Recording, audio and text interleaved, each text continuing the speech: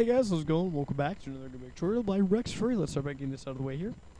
Alright, so um, yeah, I'm just going to go over a really quick thing here in uh, GameMaker 8.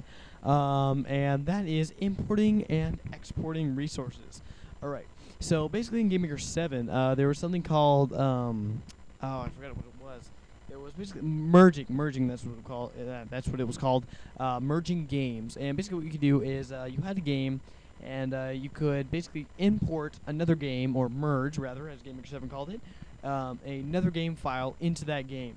And uh, basically, so you'd have like uh, two games in one game. So if you had like maybe um, um, I don't know, like uh, some sprites you wanted, or um, a really like basically a player or something or a character or whatever um, in one game, uh, you could merge it with your current game, and um, basically you wouldn't have to recreate it all over again. You'd already have it in in that game. So uh, basically, in GameMaker 8, there's uh, importing and exporting resources, and basically they've um, subtracted out merging for for those two uh, options there. And let me go ahead and show you what they uh, basically what they do. All right, so um, they're pretty much the same as um, merging your game, um, but they are a little different and actually a little more helpful. And let me go ahead and show you why. So let's go ahead and create a quick sprite um, here, and I'll just name it like um, uh, random here. All right, and let's go ahead and go edit sprite and 32 by 32, and I'll just make something really random here. Uh, no, that's not what I want. Uh, I'll go ahead and make a purple thing with a cool looking gradient. Um, yes, all right. And that looks cool. Wait, no, there we go. All right, and then I'll just make it uh, really quick. Um, ah, what should I do? Um, okay, I'll make a black outline here. And what the crap? Okay. Okay, whatever. Screw the uh, black outline. Let's go ahead and go to uh, uh, just glow. And there we go. Cool glow. And there we go. All right, so there's our cool little spray there. Not really. Um, let's go ahead and hit the uh, excl- or not exclamation mark, the little OK sign. All right, now let's go ahead and hit this OK. All right, so we have this little sprite here, and let's go ahead and make it just a quick object out of it as well. Um, let's name it uh, just random. Don't bother with the OBJ. All right, random. There we go, and uh, there we go. All right, let's go ahead and just really make uh, really quick make a quick background again, random. All right, and let's go ahead and just make this purple for the sake of awesome purpleness. Uh, let's go ahead and um, get a timeline going here. Call it random. Add do and let's go. Uh, I don't know, three. And I'm just doing really random stuff here if you have not noticed. All right, and there we go. And I think that's enough for now. Um, yeah. Okay. So basically, let's go ahead and uh, go ahead and export this um, as a resource. And basically, what we're doing here is um, we're exporting uh, basically basically our game and everything, all the contents in our game, and we're creating it into a resource.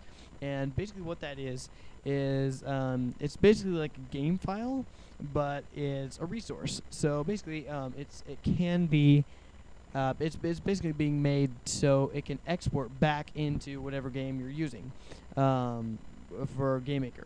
So let me go ahead and give you a good example of that here. Let's go ahead and name this uh, random here. And let's go ahead and hit save on that. And here we go. This is really cool. Um, actually, I'm just going to bring that back down there. All right. uh, excuse me. So basically, um, basically, this is the uh, resources to export. So it's asking you uh, what you want to export. So basically, out of everything we've created, what do we want to export as a resource file? Um, do we want basically all the sprites in our game and all, all basically the sounds? And you can uh, check mark and uncheck mark what you want, what you don't want, or select none, select all. And uh, I'll just keep it select all for now. Um, so I'm going to go ahead and hit OK here. All right, so basically what we've just uh, just done is exported all of, of this that we've created in our game um, into a resource file. And let's go ahead and hit a new game here. And no, we don't want to save changes. Um, all right, let's go ahead and change sprite and edit sprite. And no, uh, saving it as a resource is not necessarily saving it as a file, so you can't. I don't believe you can open it back up again and start editing it.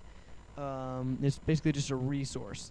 All right, so let me go ahead and just make some random things here. There we go. All right, so let's say we're working on a game here and we have this sprite, but we wanted some other sprites that we've created in that random game. Let's say we actually saved that random game, and uh, which I didn't, but let's say we did, and um, we wanted those sprites that we've created in a random game um, in here. All right, and uh, just the sprites, not the other stuff, just the sprites. Okay, so th- since there's no merge game option, or option rather, what do we do? We go to File, and we go to Import Resources. Okay, and we're just gonna go ahead and choose our um, random uh, resource there. Open, and again we get this little uh, this, this little pop-up box here. All right, so what we're gonna do is since we just want the sprites, we're gonna select none, and just so it's easier, and select what we want. So we just want the sprites, okay, and basically keep last changed. Uh, basically means how it was last changed, or we could keep original, which you you can mess around with that stuff. All right, and let's go ahead and oh also really quick uh, place new resources in new group. So basically, what this is going to do is going to create kind of like a folder uh, for showing that it was what game was in that you have not created it for this game that you're using. Okay, let's go ahead and hit OK on that. And there we go. We have our little random folder here uh, showing that this sprite right here was from our random game and we imported it in our, our uh, current game. So as you can see, it's a fully editable sprite and everything. We can do whatever we want uh, or want to do it random. Okay, and uh, there we go. And yeah, that is basically how to do that. Um, you could do this for you know objects and a whole bunch of different stuff. It really comes in handy. So uh, yeah, this has just been a quick tutorial by Rex, Fur- uh, Rex Furry. I was gonna say Rex, uh, Rex 95 there, um, but yeah, by Rex Furry. Uh, please feel free to comment, rate, subscribe for upcoming content and all that stuff. Um, I apologize for the shortness of this tutorial, but you know I really didn't want it to be too long because this is a fairly short thing.